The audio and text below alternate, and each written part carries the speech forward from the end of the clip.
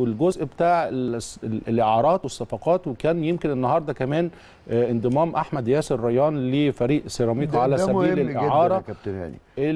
الملف اللي حضرتك اتكلمت عليه يعني بتفاصيله إن دوت مكسب للنادي ومكسب للعيب نفسه. مؤكد. ده مكسب للنادي اولا ثم للاعب خريج مدرسة النادي الأهلي. بمعنى أنت استثمرت فيه منذ كان يعني شاب ناشئ ثم شاب والآن استعاضوا النادي الأهلي في عودة المعارين ومن ثم بدأ ياخد ماتشات. اذا الراجل حكم عليه إنه وحش ولكن بلا تجارب. اذا المتاح الآن أكثر خبرة أكثر تجربة. طب أنا لو قعدته جنبي واحتجزته للتدريب ومفيش فرص ليه مباريات ودية كثيرة. ثم هذا الخط يعني مفعم ما شاء الله بخبرات أعلى.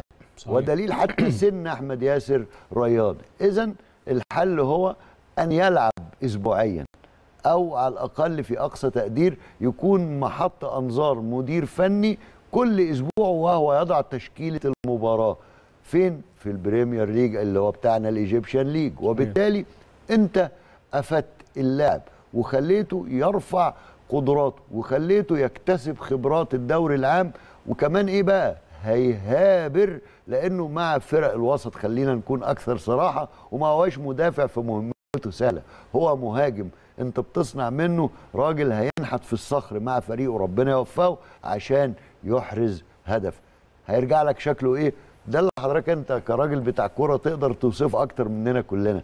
أكيد حين تحتاجه هو معار ولم يتم بيع عقده يعني نهائيا ومن ثم فعلا زي ما الراجل قال هو يعني مهاجم وحش لكنه يستحق أن يلعب اسبوعيا. صحيح وده يمكن يمكن من خلال كمان وسائل التواصل الاجتماعي. كمان أحمد ياسر ريان سعيد بهذه التجربة مش طالع لأنه كمان عنده خبرات إن على سبيل المثال شاف أكرم توفيق وشاف صلاح محسن وشاف ناصر ماهر لما طلعوا إعارة للسموحة وبعض الأندية الثانية وأدوا بشكل جيد كان مكانهم محجوز في النادي الأهلي ورجعوا تاني. فده كمان اداله طموح. اولا لعيب الكورة زي ما حضرتك بتقول هو يعني بيته الملعب والمباريات ده مهم أيوة. جدا الجزء الثاني على سبيل ال- التسويق إن ياسر صغير وإن شاء الله يقدم موسم مع سيراميكا وسيراميكا حت يعني كمان من الفرق اللي ممكن تساعد ياسر كويس بتلعب. كرة هجومية الله ينور على حضرتك شكلها ده, كويس يعني. ده كمان ال- ال- الجزء بتاع إنه خارج وهو يعني حاسس إنه يعني منتفخ أكسجين كده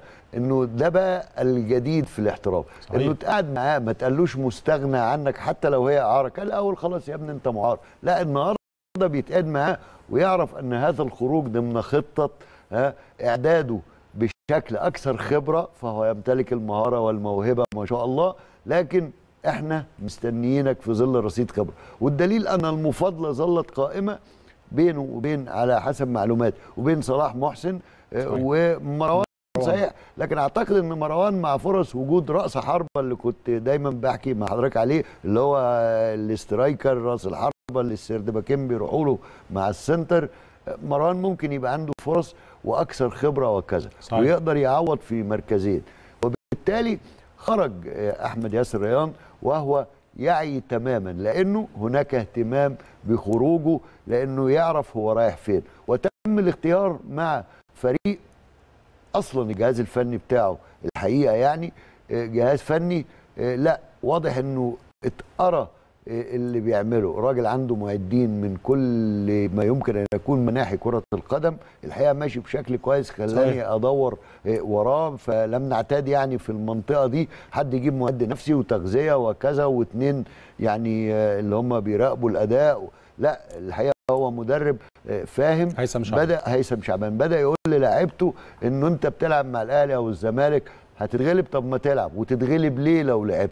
فبدأ يعمل حافز. ده هيفيد كتير جدا. مع الصفقات اللي جابها كيلوباترا هيفيد أحمد ياسر ريان جدا. صحيح. ويخلق منه مهاجم الأهلي سيحتاجه يعني قريبا جدا جدا. مهم